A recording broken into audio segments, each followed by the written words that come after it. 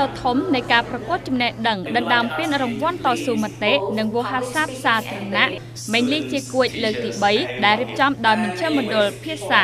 AII ក្រមប្រធានបទស្ដីពីគុណភាពនៃការអប់រំបានរកឃើញម្ចាស់ជ័យលៀបភីហើយកាលពីព្រឹកថ្ងៃទី27ខែមករាឆ្នាំ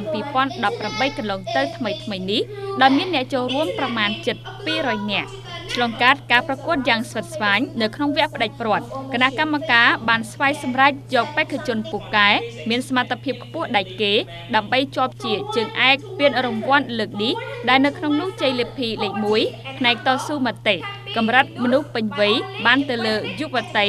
រិទ្ធសវណ្ណលីណាយុវជនហ្គាជីហុកយុវតី អង្គខេមរាបរមីច័ន្ទជ័យលាភីលេខ1ផ្នែកតស៊ូមតិកម្រិតកុមារបានទៅលើកុមារងិនហេងកុមារាអានកំឡុងកុមារីខွာទឹកបុផានីចំណែកជ័យលាភីលេខ1ផ្នែកវោហារស័ព្ទសាធារណៈកម្រិតមនុស្សពេញវ័យបានទៅលើយុវជនជុំយុទ្ធិកានិងផ្នែកវោហារស័ព្ទសាធារណៈកម្រិតកុមារបានទៅលើកុមារាសៅហេងឡុង លោកឡុងពិសីនាយកមជ្ឈមណ្ឌលភាសា AII សាខាម៉ៅសេតុងបានបញ្ជាក់ប្រាប់សារព័ត៌មានយើងថា ការប្រកួតចំណេះដឹងដណ្ដើមពានរង្វាន់តស៊ូមតិវោហារស័ព្ទសាធារណៈក្នុងឆ្នាំសិក្សានេះគឺមានការខុសប្លែកជាងឆ្នាំសិក្សាកន្លងទៅ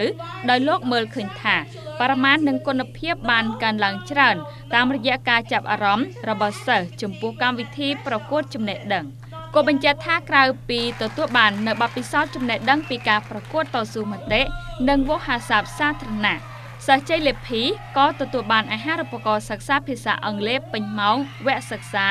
ពានមេដាយកិត្តិយសបានសរសើររំទាំងរង្វាន់លើកទឹកចិត្តពីកម្មវិធីសិក្សានេះផងដែរ